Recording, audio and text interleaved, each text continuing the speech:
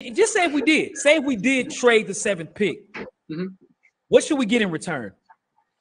Man, if that, that's a, that's a lot of capital, right? If we're trading the yep. seventh pick, I would at least need. We, we we don't have a third round pick this year, right? If I can get a third round or second round pick plus a first round pick from next year, I want that capital right? If if we decide to go that route, I know that's a lot of capital, but to trade up from maybe like the Bills who need a, a receiver, right?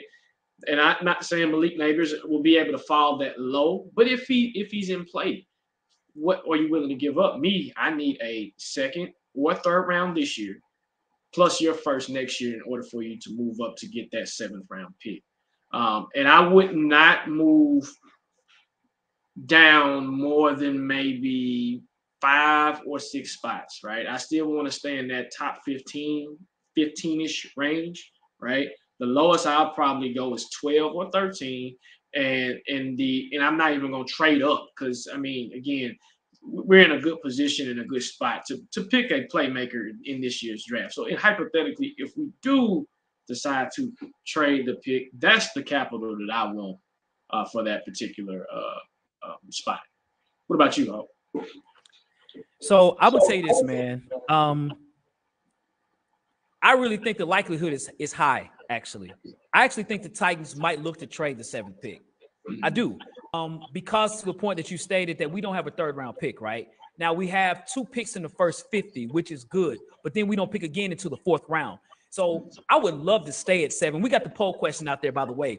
I would love to stay at seven because you could get a general a generational player at seven, whether be an offensive lineman, a good receiver, even a corner. You know, that's a really good pivotal spot because we haven't been there in years this high. But we need players. We need young, we need youth.